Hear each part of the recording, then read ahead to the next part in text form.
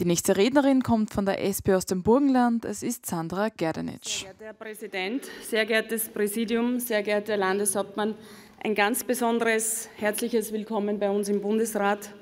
Sehr geehrte Zuseherinnen und Zuseher, werte Kolleginnen und Kollegen. Es ist mir eine ganz besondere Freude und auch Ehre, meine erste Rede im wiedereröffneten Parlament hier im Bundesratssaal anlässlich der Erklärung unseres Landeshauptmannes Hans-Peter Toskozil zur Vorsitzübernahme des Burgenlandes in der Länderkammer zu halten. Herzlichen Glückwunsch auch zur Übernahme der Landeshauptleutekonferenz und viel Freude und Kraft mit der neuen Aufgabe und nochmal herzlich willkommen im Bundesrat Christi Gauce. Ich war und bin eine glühende Burgenländerin. Ich bin eine pannonische Mischkulanz. Mein Großvater stammte aus dem Norden, geboren wurde ich im Süden, aufgewachsen bin ich im Mittelburgenland. Und ich habe auch über eineinhalb Jahrzehnte in Wien verbracht. Zuerst in der Schule, dann studierend und arbeitend. Und wie viele andere Burgenländerinnen und Burgenländer auch. Und gefühlt hat jeder, jeder und jede von uns eine Tante, die einst auszog, um in der Wiener Stadt zu leben und zu arbeiten. Ich bin tief verwurzelt im Burgenland. Ich bin Gemeindevorständin in meiner Heimatgemeinde. Ich arbeite als Landesfrauengeschäftsführerin. Ich bin Obfrau der Tageseltern Burgenland. Ich bin also dadurch tagtäglich ganz nah an den Menschen, die mir über ihr Leben, über ihre Fragestellungen, die sie beschäftigen, aber natürlich auch über ihre Probleme, Sorgen und Ängste berichten. Und hier gilt es zu helfen. Hier gilt es, die Lebensrealitäten der Menschen ein Stück weit zu verbessern. Hier können und müssen wir auch ansetzen, und das sehe ich als unsere Pflicht als Politikerinnen und Politiker. Angesichts der Herausforderungen, denen wir gegenüberstehen, ist es ein zentrales Anliegen, den Menschen in dieser schwierigen, belastenden Zeit Sicherheit und Stabilität zu geben. Gerade in Krisenzeiten ist es wichtig, dass die Bundesländer geschlossen auftreten und jedes Bundesland seine Stärken entsprechend nützt. Lassen Sie uns gemeinsam hier im Bundesrat und in enger Zusammenarbeit mit den Bundesländern und dem Bund daran arbeiten, die anstehenden, mitunter sicher nicht einfachen Aufgaben im Sinne der Menschen zu meistern. In meinem Berufsleben, aber auch im Privatleben habe ich sehr oft davon profitiert, von anderen zu lernen. Und ich bin sicher, dass man sich auch von einem Bundesland etwas abschauen kann. Das Burgenland unter der Führung von Landeshauptmann Hans-Peter Doskozil unternimmt so einiges, um gerade jetzt in der Krise den Menschen zur Seite zu stehen.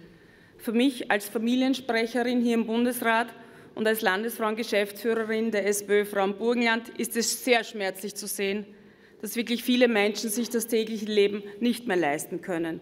Ganz besonders betroffen sind Frauen und Familien, unter ihnen sehr viele Alleinerziehende.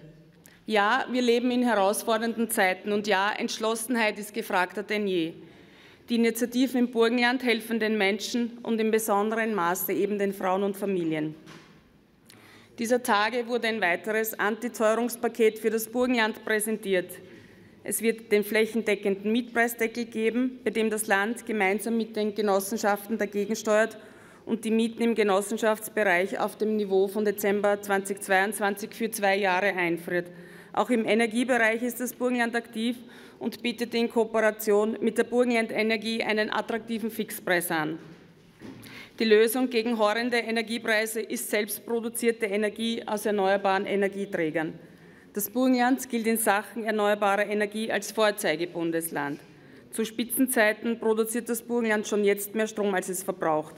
Durch sinnvolle Maßnahmen wollen wir ab 2030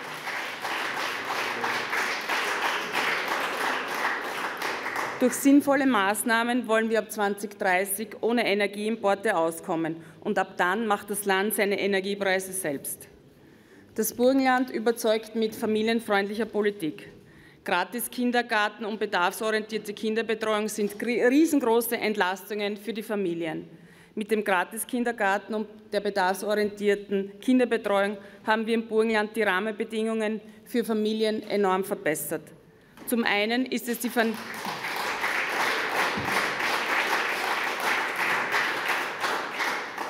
Zum einen ist es die finanzielle Entlastung, die mit dem Wegfall der Kindergartenbeiträge den Familien Ersparnisse bis in den vierstelligen Euro-Bereich gebracht hat.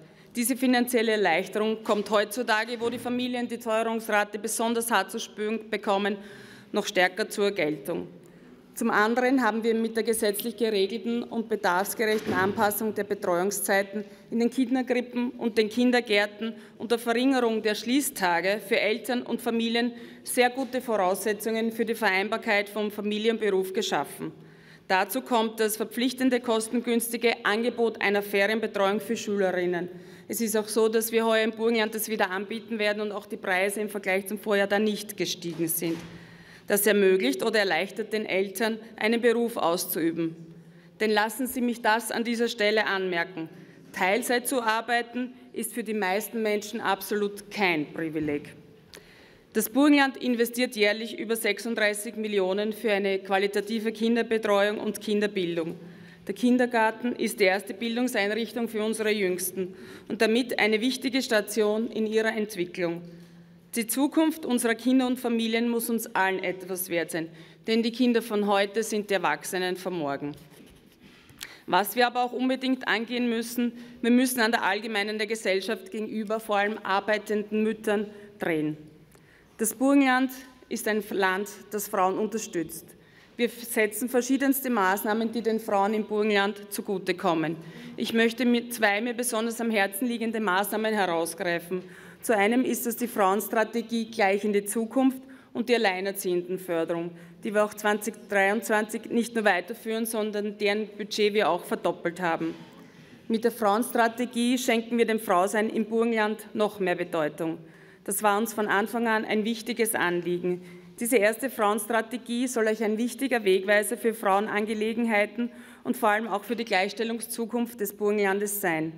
Gleichwertige Bezahlung, Möglichkeiten, um Beruf und Familie besser vereinbaren zu können, Rollenbilder bereits bei Kindern aufbrechen, das wünschen sich Frauen im Burgenland. Das ergibt die Befragung zur Erstellung der Frauenstrategie.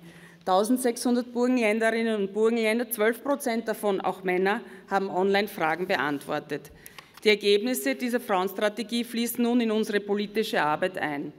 So haben wir in den vergangenen Monaten bereits viele Projekte umgesetzt, um Frauen bei ihrem Ein- oder Umstieg auf dem Arbeitsmarkt zu unterstützen, einige neue Initiativen für Frauen und Mädchen im MINT-Bereich gesetzt oder erstmals auch eine Schulung für Landesbedienstete ins Leben gerufen, um sie für den Themenbereich Gewalt an Frauen zu sensibilisieren.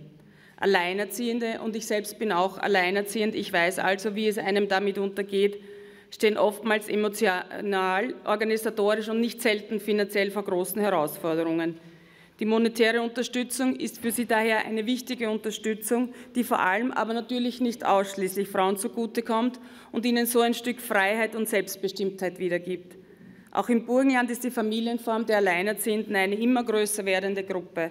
Über 90 Prozent der Alleinerziehenden sind weiblich auch mit dem Anstellungsmodell für pflegende Angehörige und dem Mindestlohn. Und der Herr Landeshauptmann hat es vorhin erklärt, die Reinigungskräfte sind durchwegs weiblich und diese profitieren davon. So sind wir im Burgenland Vorreiter für soziale Gerechtigkeit. Und ob Sie es glauben oder nicht, mein Vater hat einen Betrieb mit über 50 Mitarbeitern. Er erzählte mir, als wir über den Mindestlohn gesprochen haben, dass er den Mindestlohn schon lange bezahlt. Und das gibt ihm recht. Er ist nämlich sehr erfolgreich unterwegs mit seinem Unternehmen. Gerade auch die Frauen profitieren von diesen Maßnahmen, denn damit wird gezielt Armut und Ungleichbehandlung bekämpft. Ja, ich bin stolz auf mein Heimatbundesland und dass wir in Burgenland aufeinander schauen. Denn genau das zeichnet die Burgenländerinnen und Burgenländer seit jeher aus und hat dazu beigetragen, dass das Burgenland sich so gut entwickeln konnte. Gleichzeitig bin ich aber genauso stolz, Österreicherin zu sein und gemeinsam hier mit Ihnen allen für unser schönes Land und die Menschen, die hier wohnen, zu arbeiten. Machen wir Politik mit Hausverstand. Machen wir Politik für die Menschen. Für uns als Politikerinnen und Politiker muss gelten, dass Politik kein Selbstzweck sein darf, sondern vielmehr ein Auftrag für die Menschen da zu sein. Politik muss den Menschen dienen. Ich persönlich halte es da mit unserem Landeshauptmann Hans-Peter Doskozil. Sehr geehrter Herr Bundesratspräsident, lieber Günther, heute findet das erste Plenum unter deinem Vorsitz statt. Für deine Amtszeit wünsche ich dir auch von dieser Stelle aus alles Gute und viel Freude mit deiner neuen Aufgabe. Gerne leiste ich deiner Einladung Folge, um gemeinsam daran zu arbeiten, dass wir ein aktiver und somit starker Bundesrat sind und dass der Bundesrat so als eine Säule der Demokratie gestärkt wird. Und ich bin überzeugt, sehr verehrte Kolleginnen und Kollegen, dieser Meinung werden auch Sie sein, setzen wir uns gemeinsam und solidarisch dafür mit aller Kraft ein, dass sich die Menschen in diesem Land das Leben wieder leisten können. Widmen wir uns diesen aktuellen Herausforderungen gemeinsam und miteinander mit aller Kraft. Herzlichen Dank. Sandra Gerdenic, SP-Bundesrätin aus dem Burgenland, betont, dass es wichtig sei, den Menschen in der aktuellen Situation Stabilität und Sicherheit zu geben. Sie spricht die Notwendigkeit des Ausbaus der Kinderbetreuung an. Viele Frauen würden die Entscheidung, Teilzeit zu arbeiten, nicht freiwillig treffen, sondern müssten dies aufgrund der Rahmenbedingungen tun. Lindinger ist hier unter Hubert Koller. Herzlich willkommen im Bundesrat.